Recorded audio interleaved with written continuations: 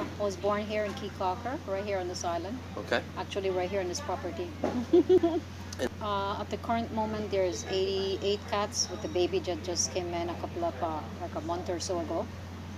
Actually, I fished the cats out of the water. I discovered that people were throwing them in the water to drown.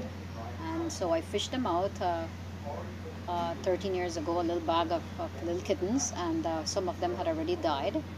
And I saved the others, and I figured I would um, them homes. It never happened, and they just kept coming. So to date, we have the 88 cats. Um, well, the government um, puts poison in the environment. If They feed the dogs uh, poisoned meat. Uh, if they find the cats as well too, and um, so they do that once a year to control animal population. That's their idea. And the animals have like a horrific death, and after that, they just pick them up and throw them in the garbage. Yeah, so the birds sometimes would eat it, and the cats eat it as well. Alright. I basically put this together myself 13 years ago, and we never have the funding to. So many cats that keeps coming, and the food that you have to feed them, and they get ill, you have to take them to the doctor. So I was never able to reconstruct, you know, something new. So it's always patching up the holes and stuff like that.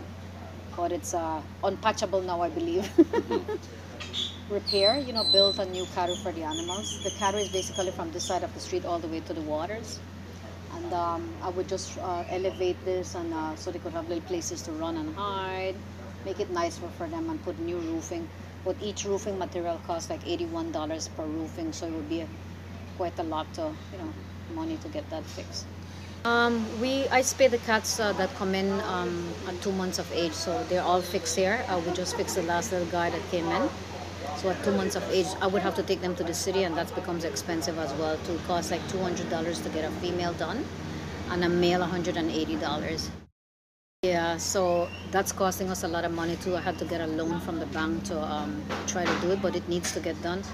Um, at the time that uh, that the cats on this area came in, um, I didn't have a place to put them or the money to finish the, these rooms that I was planning to rent out.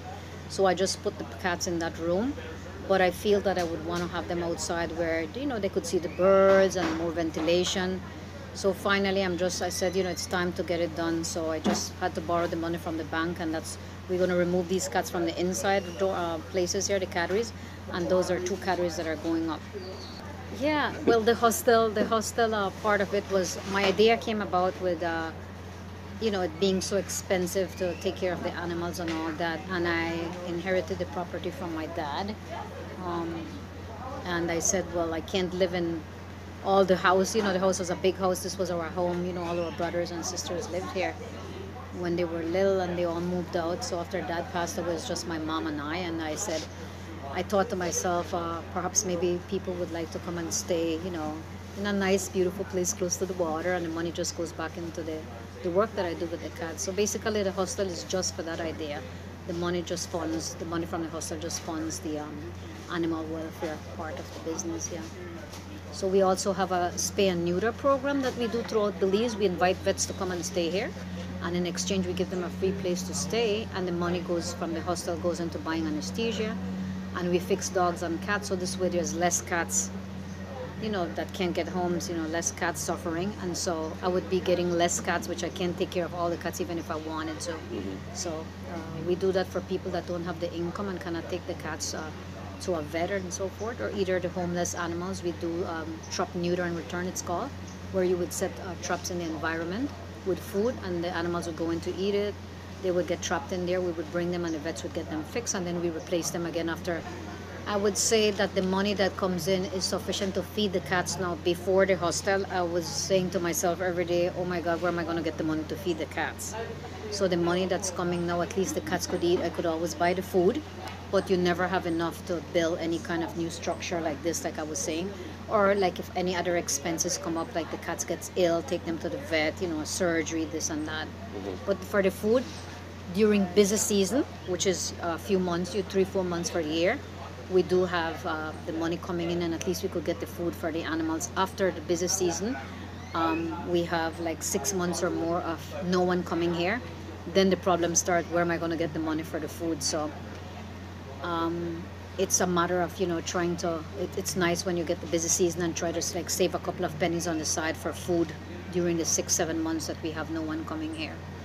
We have a what's called a volunteer vacation program that I created a few years ago, where um, if the we have a, like a long term and a short term um, vacation um, volunteer vacation program. So if somebody could come here for a couple of weeks, and we would ask them to give us uh, a couple of hours a day to help with the cats or with whatever they want to help with at the hostel or in the yard or with the dogs, and we would reduce their their their um, the fee for staying here.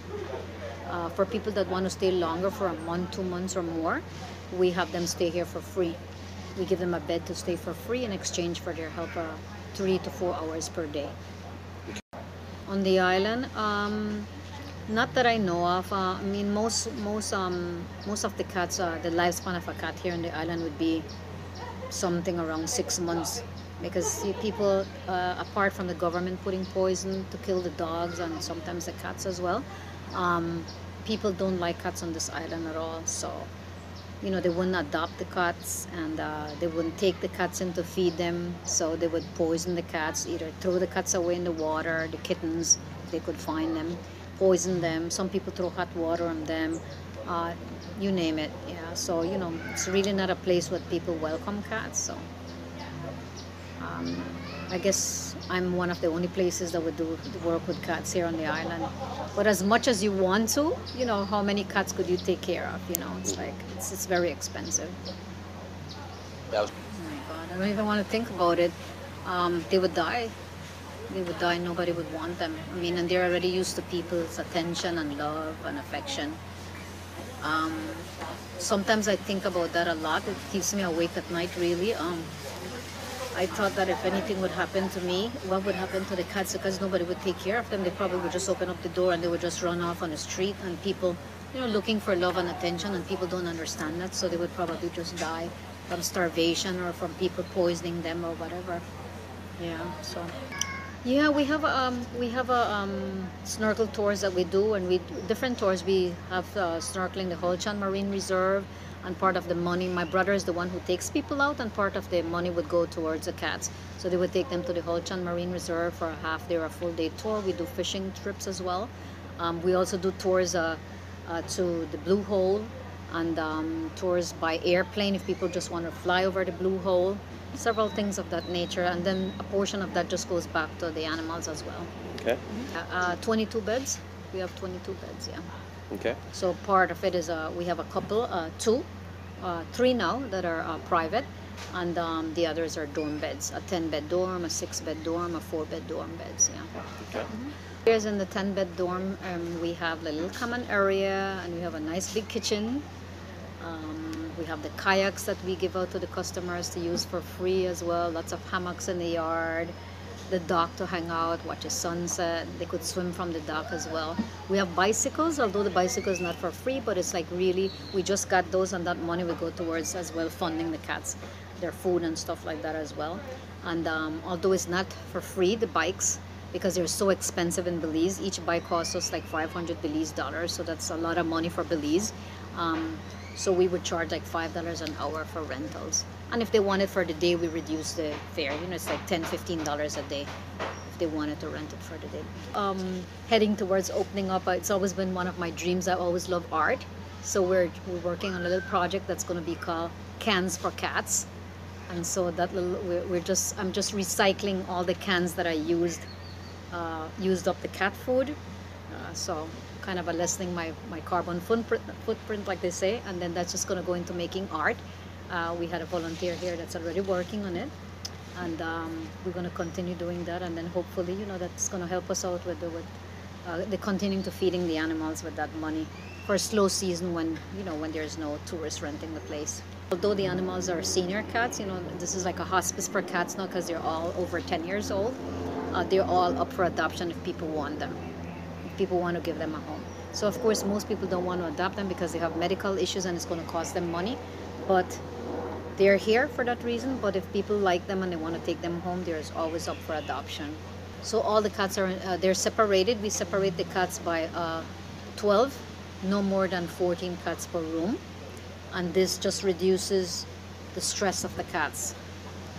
And then some of the cats they don't get along with our cats. They fight. So we have to try to it, a whole process happens before a cat is is uh, is uh, put in a certain before we decide which room we will put the cat in we have to like try them in one room to see if they would get along with all the cats and then if they don't get along we try them in another room until until we find a place to put them. So the more more cats are uh, come in the more complex it gets because where, where what do you do with them? Where do you put them? Okay. So also people could help us by visiting our website um, either uh, our facebook pages as well either come stay with us. I mean every penny counts uh, to, the money goes from the accommodations back to the the animals as well. Or either uh, while they're on the island they could book a tour with us um, uh, visit us and they could bring food for the animals and toys for the animals. So there's so many ways that you could help. So we appreciate anything anyone wants to do. And don't forget to come visit us on the beautiful island of Caye Caulker and don't forget pause